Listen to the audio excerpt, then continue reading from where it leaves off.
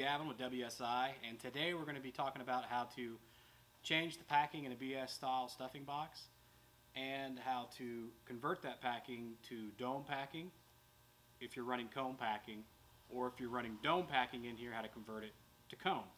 Um, if you're used to working with our classic double pack style stuffing boxes, uh, the process is extremely similar, but there are a few things that are a little bit different. So the tools you're going to need for this job are packing pullers, possibly a screwdriver or some type of pick, but use these minimal, you know, don't, shouldn't be your primary tool. A wrench, and then some grease, which we don't have out here for the sake of the video, but you would want to have some grease with you to, uh, to use on your, on your packing. So the first thing you're going to do when you come up on the well is follow your company's procedures on how to shut the unit off and shut that well in. Um, you're going to want to close your BOP, and then you'll come up to your stuffing box and you're going to shut in your Poor Boy BOP um, up here. And how this works is there's two pieces of cone packing down here in this chamber, um, and then there's a ring, a compression ring that sits on top of them. And as you run these these ram bolts in, it compresses on that ring and it compresses your packing, and it gives you a safe space to then operate and swap out your packing, um, and isolates your that chamber from the pressure below. So when you operate these, you want to do it the same way you would a rod BOP with even turns. So if you go two to three turns on this side, two to three turns on this side, vice versa until you're tight. So we'll tighten those up.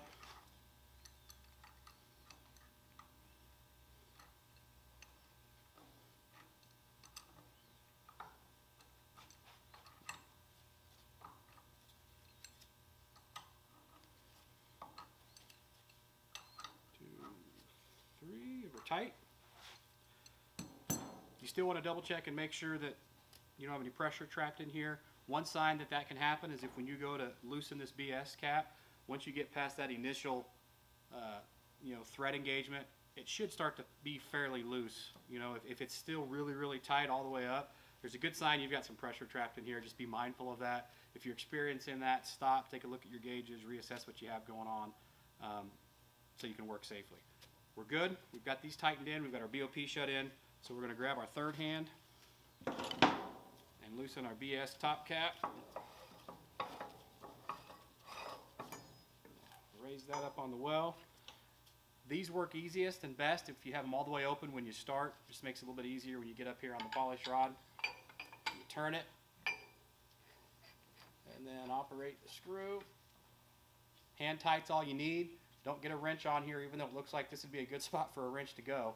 All you need is hand tight. You get a wrench on here and wrench on it, you're going to scar and scar up your polish rod, prematurely wear it. So you would also normally have this upper follower here and you would pull that up with your cap. For the sake of the video and time, we've already taken this part out and we're just using the cap up here and showing you how the third hand works. So your upper follower's off. At this point, you grab your packing pullers. Um, some guys use one, some guys use two. You just operate them like a corkscrew, screw them in, pull out. Work your way down each set until you get to the bottom. The bottom of these stuffing boxes have what's called a lower alignment ring in them. Lower brass ring, lower alignment ring. These sit down here in the bottom and they allow you to run your packing inverted. In a BS style stuffing box, your cone packing is run inverted. In your classic double pack, you run that cone packing like this. But in these, you run it inverted. So you've got to have this lower alignment in here if you're going to run cone packing. Shouldn't need to pull your lower alignment ring out unless you're wanting to swatch and swap and change it to dome. So we're just going to assume that we're leaving this in here, lower alignment's in the bottom. You take your packing, individually grease it, put it on your rod, make sure that you're alternating your slits. If you say north, east, west, south, or whatever works for you. And then when you get to your last piece, one of the differences is where here you put this thicker piece of cone packing as opposed to the others. In the bottom, on a BS style, you put this on the top. This is the last piece that goes in. And then your upper alignment ring will sit right on there like that. Your cap will come down, tighten everything up.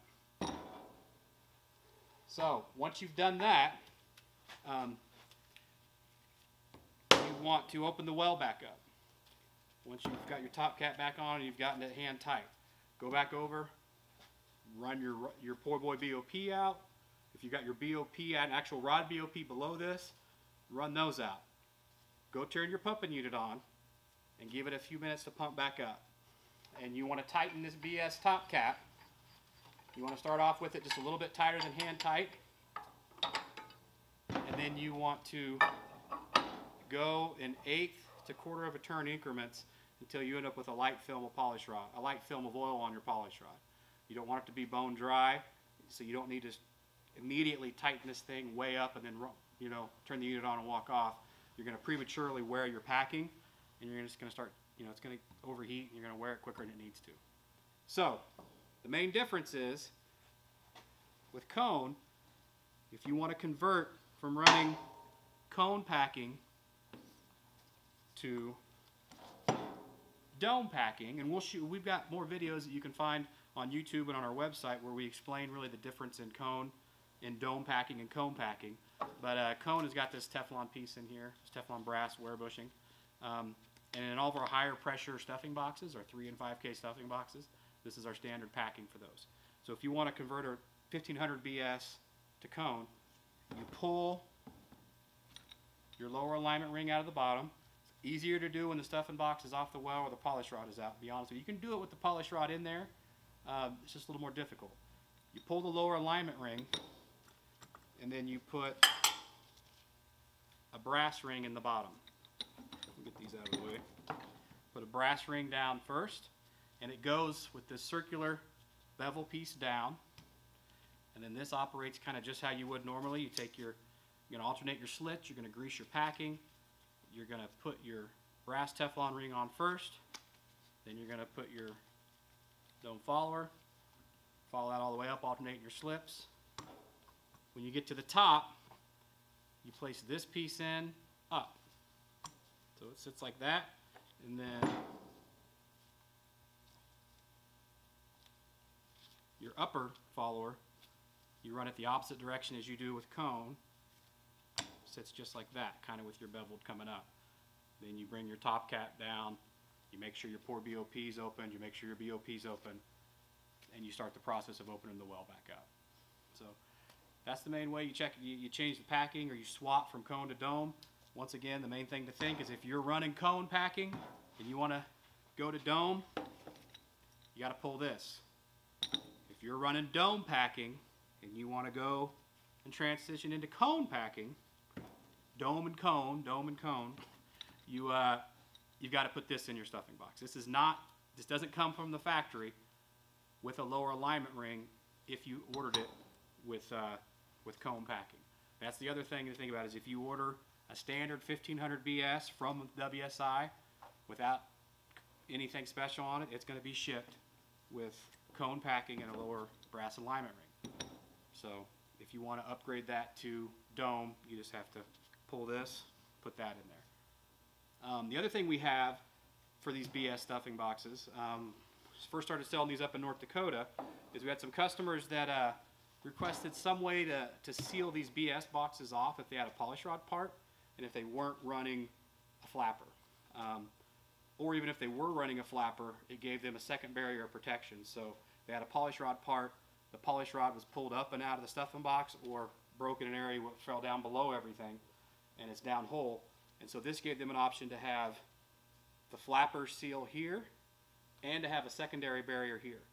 And so, or in this scenario where this stuffing box doesn't have a flapper in it, this one has the pollution control flapper, this one doesn't, it allows you to get on location and temporarily put a spud in here to keep this stuffing box from being open to atmosphere. super simple. It's a piece we make. You just pull your, obviously, all your normal oper safety operating procedures if you're going to work on your stuffing box. Shut the well in, shut the BOP in, run your poor boy BOP in. Pull this off. You take your BS spud, drop it right down on top of your packing. Come back with your cap. Thread your cap on.